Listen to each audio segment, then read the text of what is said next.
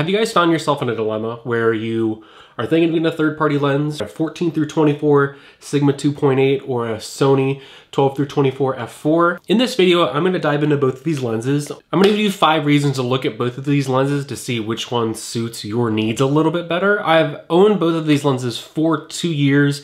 I've had the Sigma repaired because I dropped it and I actually got the Sony used. Both of these lenses are within about the same price range. I'm really gonna want these lenses if you're doing videos like this so you can see everything, or if you're doing real estate, these are you're definitely your money lenses. So one thing I haven't seen anyone ever talk about on these review videos is the lens caps on both of these. On the Sigma, this lens cap, I have probably lost about five or six times and have to continue buying them. The reason why is this does not want to stay on. It fits perfect and it's not going to fit on anything else, um, but it slides right off. I don't want to even shake it because it's going to break. On the Sony, this thing is nothing is going to make this lens come off for any reason unless you hit these two buttons right here. To replace either of these lenses as a game lens caps is a game changer difference.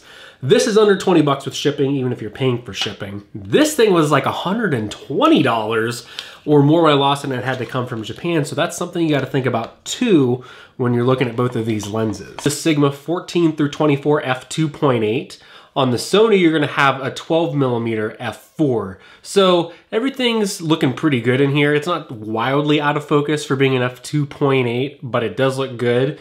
These lenses are great for showing real estate, which is the primary use that I have for them, but every now and then I do a video that's maybe food related in a really tight spot in the wide angle lens helps show everything while you're there. It's fully open at f2.8. You can see a ton of stuff on here. Hopefully, I think these lenses make the guns look a little bit bigger, at least when I've seen myself in photos. Obviously on these wide angle lenses, you get really close to it and just looks awkward. Like the out of focus elements, the softer background that you're getting on the f2.8. So for certain times, certain aspects of filming, that f2.8 you just can't beat. You can't like make a negotiable difference between the f4 and the f2.8. There is a game changer view on there. Um, but you don't see all of the room, and that might not be as important depending on what your subject is, like me and you right now watching this video, making this video. But next one's gonna be the f4 Sony. There's the 12 through 24 on here right now.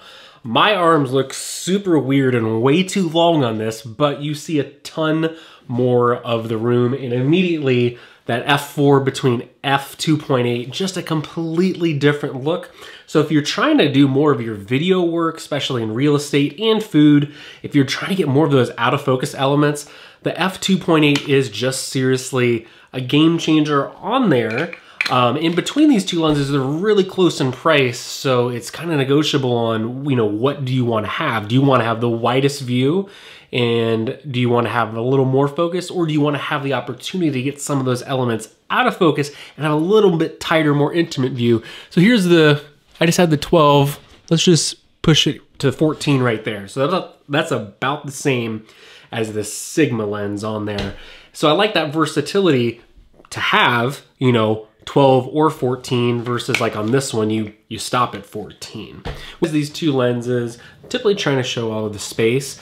And when I'm doing videos, I'm utilizing manual focus with these lenses because I'm walking through a space. And I have personally noticed on the Sigma, it does a better job. And this is just me, doesn't mean it's right. But I've noticed the Sigma does a better job of autofocus when walking through spaces if you're not utilizing manual focus.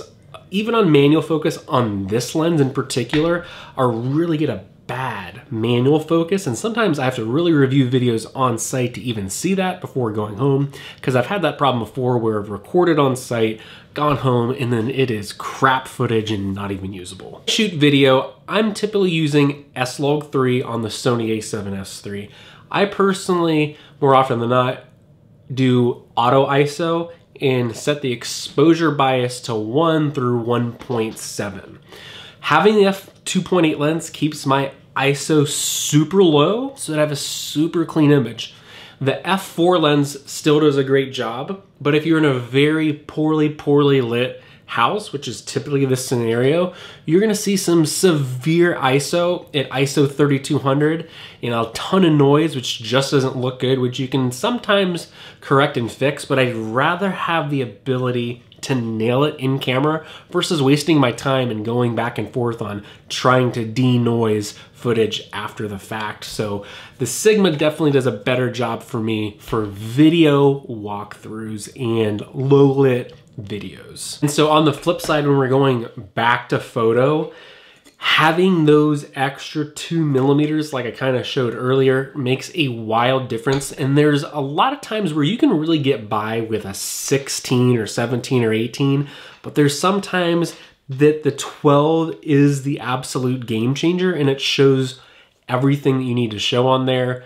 I personally have had so many times where customers want me to go back for small things that are detail shots or something that they thought that I missed that they never asked for, but no one has ever said it wasn't wide enough. They've said it's too wide or it looks too good, but no one has ever said it's not wide enough.